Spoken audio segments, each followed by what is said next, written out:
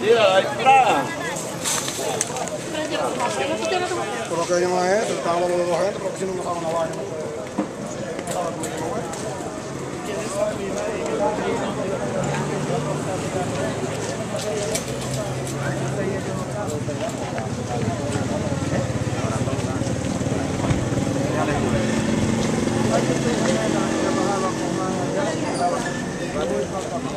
Pero que ya la arregló, ah, pues,